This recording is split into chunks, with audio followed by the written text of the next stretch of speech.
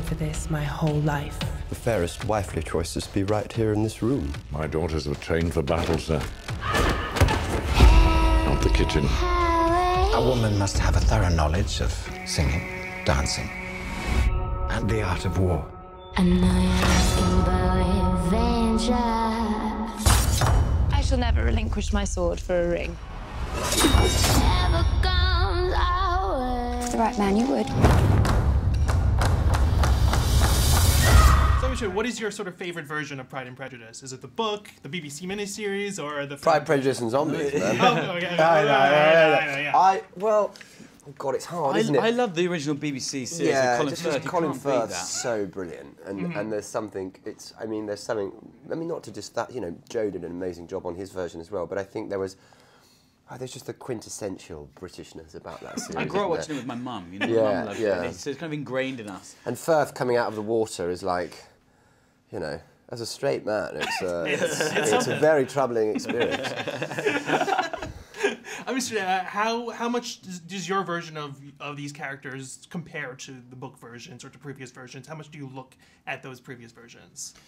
We, I, I didn't re- revisit it. I, I, ne- I never think that's particularly uh, useful. I think. Sure. in a scene you should be have active imagination and be reacting to things that are happening there rather than thinking about someone else's performance. You know, like how will I feel standing in front of this girl that I'm just instantly in love with and her her mother and all her da- sisters. You know, like you, you want to be present. And I think Yeah. harking back to rather than being in the past.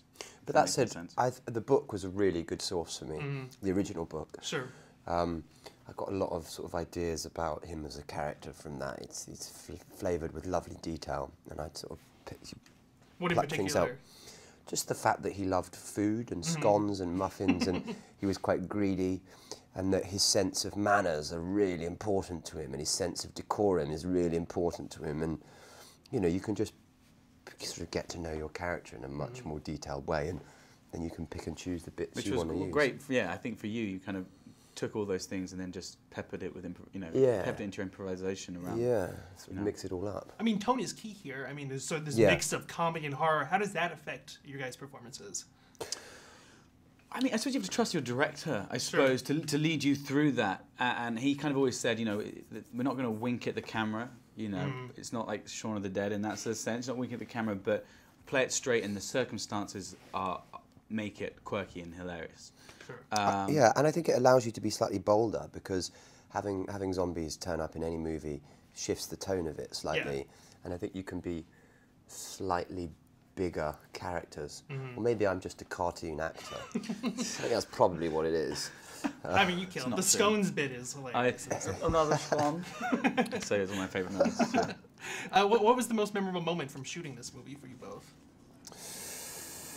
Um, well, you know, we say what what was a real virtue of this movie is that we're all pals, and and um, so coming to work every day was a laugh because we're mates sort of on and off screen, and there was a good energy. So we just so each day was kind of groovy. Um, yeah, it was a joy. It was a joy to come to work every day. I had a fun day when I did my scene with Lily, proposing to her, Sure. getting rejected. That was kind of funny.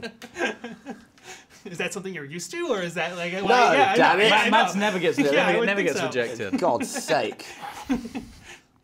yeah, it was. Um, yeah, Quite a it was- shock to the system, It was boy. a, it was an absolute travesty.